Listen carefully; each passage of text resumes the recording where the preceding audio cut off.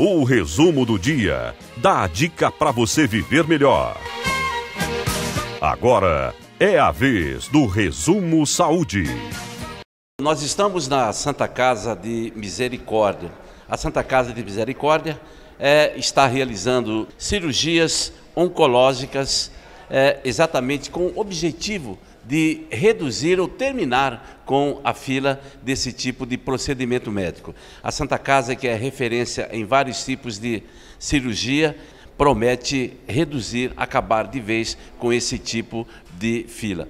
Ao nosso lado está a Patrícia Neves, ela é diretora geral aqui da Santa Casa de Misericórdia. As pessoas estavam esperando há muito tempo. Qual é o nosso objetivo? Zerarmos a fila dos pacientes da Santa Casa. Então, hoje nós finalizamos todas as cirurgias dos pacientes que foram atendidos pelo Hospital Estadual Santa Casa. Que modalidade é, cirurgias é, oncológicas estão sendo realizadas? As cirurgias oncológicas elas são bem diversas, né? Mas hoje principalmente as cirurgias de mama, né, de quadrante, retirada de segmentos, refazer algumas mamas, correção de algumas que tiveram complicação no ato cirúrgico, de própria rejeição do organismo.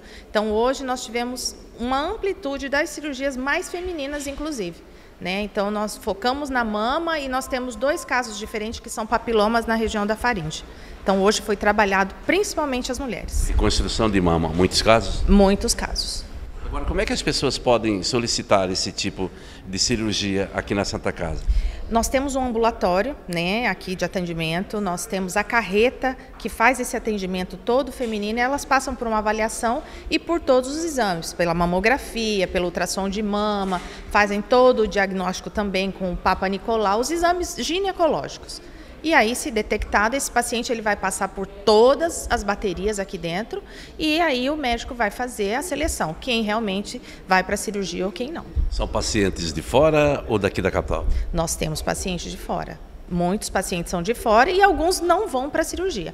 Alguns vão para um outro tratamento, que é a quimioterapia e a radioterapia. Então, isso é uma decisão médica, mas aqui a gente tem todo um aparato de exames para que isso seja conduzido da melhor forma possível. Estavam esperando há muito tempo?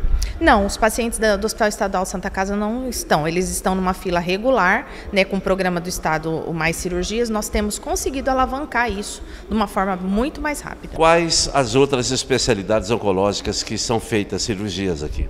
Olha, aqui é um hospital de uma amplitude muito grande de especialidades. Então, nós estamos fazendo multirões em cirurgia geral, cirurgia geral infantil, urologia, enfim, todas as especialidades do gama cirúrgica que esse hospital possui, nós estamos fazendo, além da fila, nós estamos fazendo um mutirão todo final de semana para que a gente promova esse andamento mais rápido da fila. Basta o paciente estar regulado.